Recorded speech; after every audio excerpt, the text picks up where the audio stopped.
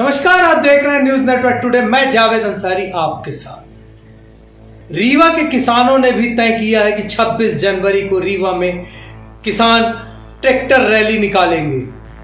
इसको लेकर पुलिस के आला अधिकारियों के साथ किसानों ने बैठक की। बैठक के बाद अपना रूट जारी कर दिया है। जी हाँ दिल्ली में ट्रैक्टर रैली तो किसान निकाल ही रहा है। रीवा में भी ट्रैक्टर रैली किसान निकाल रहा है। मुख्यमंत्री शिवराज सिंह जहाँ एक और 26 जनवरी को रीवा के पीटीएस मैदान में झंडा फहराएँगे, वहीं दूसरी ओर किसान मंडी में झंडा फहराएगा। उसके बाद वहाँ से निकलकर जय स्तंभ होता हुआ कॉलेज चौराहे से शिल्पी प्लाजा, उसके बाद घूमता हुआ वापस करैया मंडी पहुंचेगा।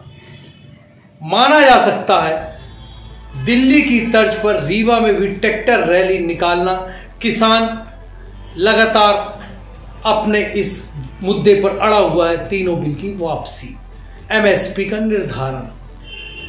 ऐसा लग रहा है किसान अब, जहाँ सरकार ने कह दिया कि विज्ञान भवन अब उसके लिए खाली नहीं है, इसका सीधा सा अर्थ है, हमने जो प्रपोजल दिया था, वो प्रपोजल इससे बेहतर प्रपोजल आपको नहीं दे सकते थे। सरकार का यह कहना था। दूसरे, किसान ट्रैक्टर रैली निकालकर यह जताना चाहता है कि वह भी पीछे हटना नहीं चाहता। घटनाक्रम निश्चित रूप से काफ़ी और आगे बढ़ेगा। हम इसको लेकर पल पल की जानकारी आप तक पहुंचाते रहेंगे।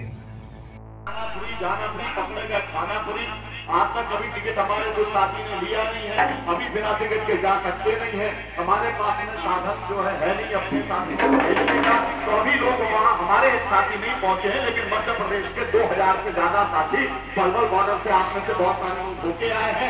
उन्होंने भी बताया होगा, और मेरे को भी खबर मिलती है, मेरे यहाँ ग्वालियर के आसपास से भी करीब सात आठ सौ लोग जो है रेगुलर बस सेवा कर रही है से।